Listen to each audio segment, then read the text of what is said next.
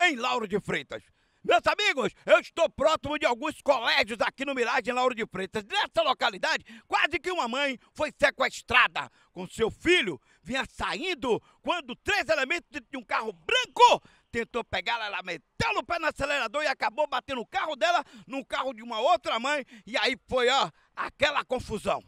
Confusão pré-estabelecida. Mas as mães perguntam: até quando vão viver assustadas e refugiadas? E procuram saber, aqui na LFTV, através das brancas do Batatinha, cadê a segurança? Nós vamos palpar algumas mães que estão tá atrás da câmara, que deram depoimento. Nós não podemos simplesmente mostrar essas pessoas que falaram. Alguns diretores e proprietários desses colégios falaram que tem o um telefone da companhia, da delegacia e que tem apoio da polícia. Mas os moradores perguntam: precisamos sim de viatura constantemente rodando porque o assalto aqui não para. Os meliantes estão demais, não só aqui, como do lado aí em Vilas do Atlântico. E a população de Vilas do Atlântico quer saber por que tirou a companhia de dentro de Vilas do Atlântico? Por qual motivo? Com a palavra, os responsáveis.